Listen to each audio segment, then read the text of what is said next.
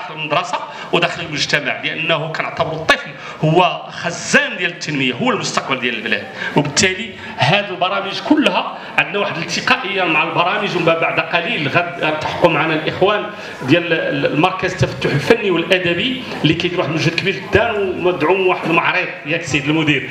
فبالتالي خصصنا هذا الأسبوع تقريبا أسبوع ديال الحياة المدرسية يومي 17 و18 كان عندنا هنا المهرجان الإقليمي التعاونيات المدرسية. ولا بد باش نشكر الاخوان كافة لا اللجنة التنظيمية ولا السيدات والسادة المديرين على على على, النشاط المميز خلال هذا اليومين اللي كان كنقول لكم في في إطار واحد الالتقائيه كبيرة جدا. لاحظتوا خلال الأسبوع كان عندنا على الأقل واحد خمسة الأنشطة كبار وهي في واحد الالتقائيه كبيرة جدا. لأنه الهدف ديالنا هو عارفين هو ذاك التلميذ هو ذاك الأستاذ هو المؤسسة بشكل أساسي.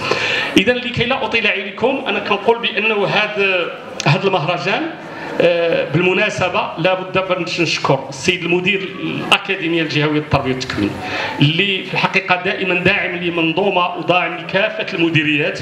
ومن خلاله لابد نشكر الزملاء ديالنا السيده السيدة المديرة والسادة المديرين الاقليميين اللي آه، دعمونا في هذا المهرجان من خلال المشاركه ديال المؤسسات ديالهم في هذا المهرجان. اتقدم لهم بالشكر الجزيل كل باسمه وصفته. والسيدات والساده المديرين للمؤسسات التعليميه اللي آه، كذلك اللي شاركوا تعب وتعبوا لنجاح هذا المهرجان.